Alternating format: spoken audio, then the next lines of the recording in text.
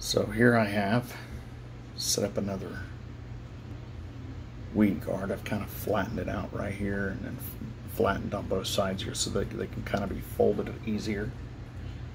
Um, and then and then so when I measured it, I kind of put put this folded the string and then kind of put the bend here, put the flattened it out here first, and then I kind of measured down decided where the other flatteners, the other flats are going to be. Okay, and so yeah, and so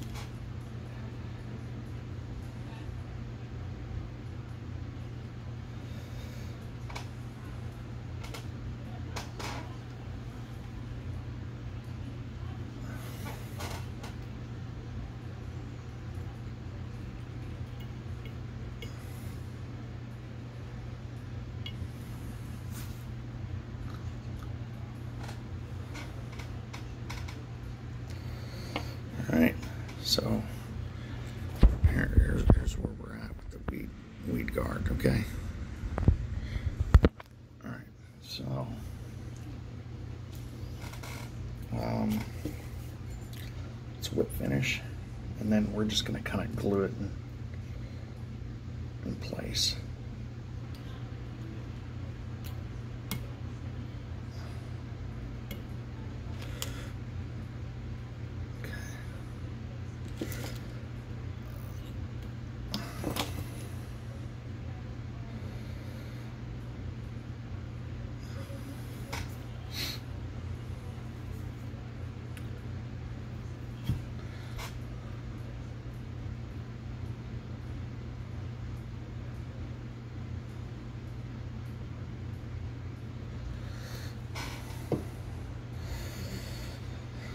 Okay.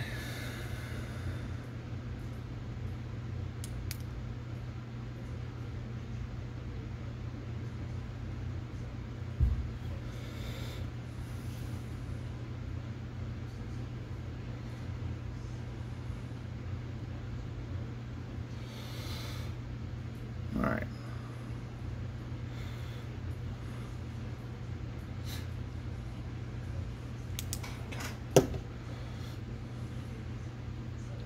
All right. So now we just cut off the tip of that right there. Oops. Right there. Okay. So it looks like we got two little horns.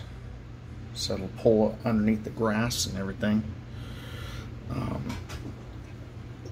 all right. So here we go.